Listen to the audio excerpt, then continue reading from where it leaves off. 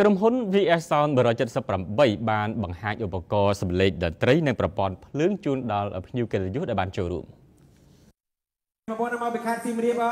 នៅក្នុងកម្មវិធីកាលពីថ្ងៃទី2កញ្ញាកន្លងទៅលោកអៀងសវណ្ណានាយកប្រតិបត្តិ VS Sound 178បានលើកឡើងថាបំណងរបស់លោកគឺមិនមែនផ្ដោតពីការលក់ប៉ុណ្ណោះទេគឺលោកចង់ចែករំលែកនៅបទពិសោធន៍ក៏ដូចជាការគ្រប់គ្រងទៅលើបច្ចេកទេសប្រព័ន្ធសំឡេង ទៅកាន់អ្នកដែលមានការចាប់អារម្មណ៍ផ្នែកនេះសម្រាប់ជាគ្រឹះទៅថ្ងៃអនាគតលោកបានបន្តថាក្រុមហ៊ុនលោកក៏មានទទួលសេវាកម្មប្រឹក្សាយោបល់ក៏ដូចជាការលក់និងចែកចាយនៅប្រព័ន្ធភ្លើងសំឡេងខ្នាតតូចធំនិងទទួលរៀបចំដំឡើងប្រព័ន្ធសំឡេងនៅតាមភោជនីយដ្ឋាន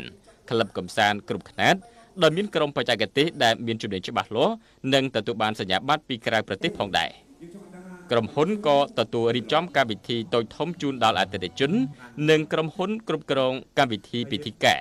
ដែលមានតម្រូវការផ្នែកប្រព័ន្ធភ្លើងសម្លេង LED screen ឆាកតន្ត្រីគ្រប់ខ្នាតជាមួយគ្នានេះក្រុមហ៊ុន VS Sound